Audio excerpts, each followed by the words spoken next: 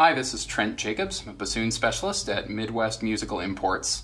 Today I'm going to talk about the Kolbl nylon bassoon harness. What is great about this harness is that unlike a neck strap, it transfers the weight of the instrument to the back of your shoulder instead of your neck.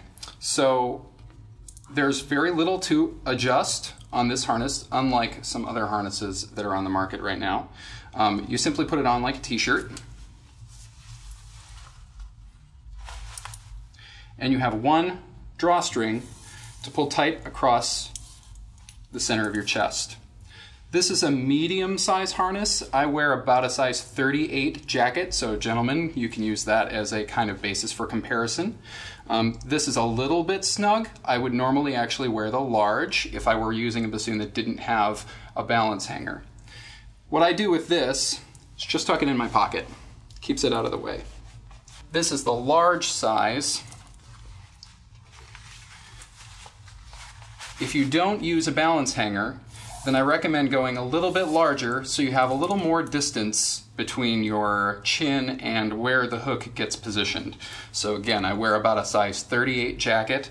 This is a little looser around my arms as well. So if you have a little larger shoulders than I do, you definitely want to go a little bit larger. Ladies, if you have any specific questions about the fit of this harness, you're welcome to talk to Jessica, the other bassoon specialist. So now that I have the harness on, it's very easy to hook it up to the bassoon. There isn't a clip or anything, just the V-hook through the balance hanger like so.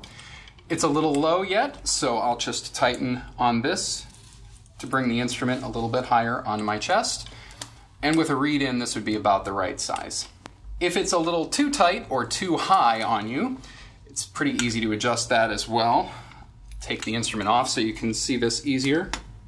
You just find the other side of this drawstring and pull back to loosen it. Continue to do that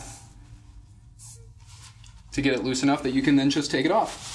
There you have it, the Kolbl nylon bassoon harness. This is Trent from Midwest Musical Imports. Thanks for watching. If you have any more questions, you can visit us on our website at mmimports.com or visit us in the store at 2021 East Hennepin Avenue in Northeast Minneapolis.